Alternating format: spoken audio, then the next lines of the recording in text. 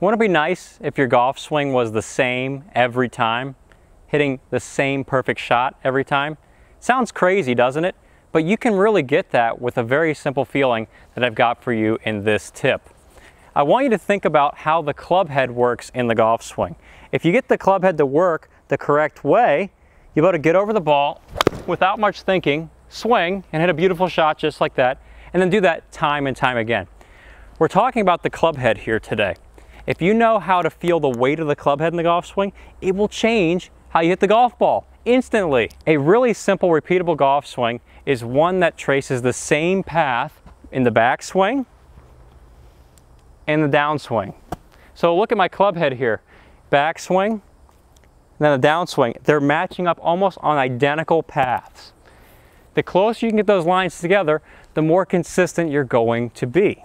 So it's going to make your golf swing very simple. You don't have to do a whole lot of lifting and dropping and looping or swinging this way up and chopping over, those things that make you want to go chuck your clubs in the lake. We're not doing those things anymore. This is very simple. Let's think about the weight of the club head and how this can help you get a swing that is simple back and through, one swing back and through, one path. When I hold this club out in my right hand, I can feel the weight of the club head swinging back and forth. Just get used to the sensation of what it's like to have the weight of the club head in control. It's going to trace the same path back and through even though I'm doing nothing. Right here from the side view, look at this. It's the same path back and through. Grab two hands on the club now, do the same thing. Get a little bit of noodly arms, somewhat overcooked noodles, and swing a pendulum back and through. What you should be feeling here is that the hands are leading the club head, like the club head's lagging behind the hands. That's noodly. And what I'm sensing is that the weight of the club is directing the motion. I'm not doing anything to force the club any different direction. It's just the weight of the club telling me what to do. Then, when we swing this club back, here's the magic of it. If you were to feel the weight of the club head swinging all the way back to the top of the backswing with your noodly arms, you would trace the same path back and through. From the front, watch this. A little bit of a noodly arm start. The weight of the club gets into position here, and the weight of the club carries me through. And all that power just releases at the ball right here. Tons of speed the weight of the club takes care of all the positions in the golf swing without me thinking about them. Makes your swing one thought instead of 15 million thoughts. All right, so to get the feeling of what it's like to have the club on the same path, let the club head do the work, you need to just start here with a basic little chip. Lag the club back and through, and notice how the hands are ahead on the backswing and they're ahead on the downswing. At no point is the club getting out ahead. I'm not rushing my swing. Let the club head swing through. You might find your swing is smoother when you do this. It's also more powerful. So we're just gonna chip one back, through. And it's a pretty powerful little shot right on the center of the face. And as you've done that and you build up this feeling of the club head lagging, the weight of the club head in control, you're sensing great contact we're just gonna keep building it up into a half and slash full swing motion. So we're going halfway, it's nice and solid, and working my way all the way up to that eventual full swing here. The ball is just rocketing off the face very solid. You can see that the club head is lagging behind the hands. The weight of the club is in control and I'm feeling all the speed of the swing happening out here. I'm not thinking about it. It's because I'm letting this work. So the magic here is that as I've got these noodly arms, the club is tracing one path on the way back and one path on the way through. Do I want you having noodly arms when you play normal golf on the course?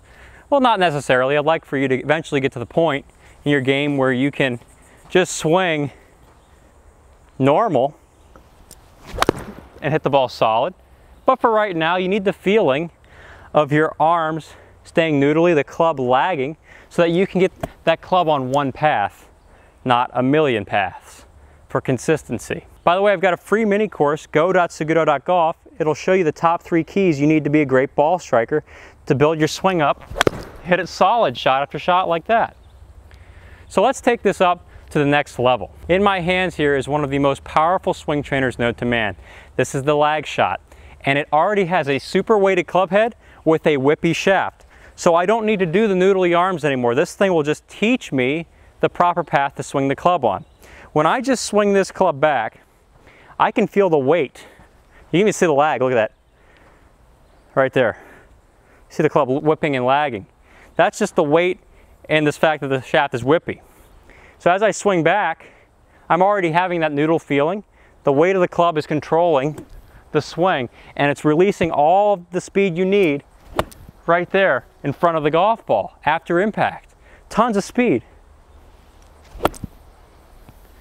We're gonna train up that speed with the LagShot. You can even hit balls with it. That's the beauty of this thing. You can train it inside, outside, with a ball, without a ball. It still creates a consistent swing. So as I do this nice and slow, we'll just look at that in slow-mo. You can see how the club is lagging behind me at all points. The weight of the club head controls the motion of the swing. especially in the downswing, you see where that club is really at a nice angle here. Plenty of stored power to be unleashed on the ball at the right time, which is impact. And I really can't screw up with this club. Because if I hit a bad shot with this club, if I try and rush my downswing, let's say, well, I'll feel the club go off path. So I really can't rush my swing because I'd feel it jerk off path and I wouldn't hit the ball. Or I'd feel, on the other way, it would fall too low. I can't swing too much into out because the club would drop to the ground. I'd probably top it. So the only path this works on is the correct one. Back and through. And I don't have to think much about the swing. I just need to feel the weight of the club head staying behind me. I can't rush my swing. I've got to allow the weight of the club head to do the work. And that's the beauty of this. By the way, you can use the code and description and comments below to get 15% off this beautiful thing. Woo! They've got a driver model too. Help you build that up for the driver. So let's get that big dog out. The big dog will hunt. With the driver, it's even more important that you keep your swing smooth and flowing. We don't feel like we're rushing it. Let the club head do the work. It's the heaviest club in the bag.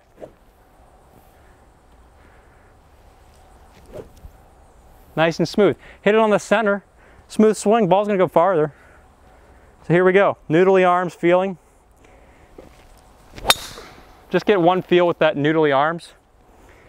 Feel the club lagging behind. And then we're gonna speed it up. We're gonna go up to 80%. Here we go. Let that club head lag behind. Mm. That felt amazing. That would make me want to hit driver out of the whole bucket of balls in the range. Just hit a hundred of those like that. Be a great day. So let's swing again because that was fun. So I'm still doing noodly feel because I want you to get this. I wouldn't do this with normal swing, but just noodly. Ooh, wow. Club's lagging. That's that lag shot feeling. I'm taking that lag shot feeling to the shot here, to the swing. Lag shot feeling in the same swing. Now just do one normal. Head in place. I've got that same feeling of the club head lagging behind. One path in the backswing and downswing. Just send it. Wow. That is an explosion off the face.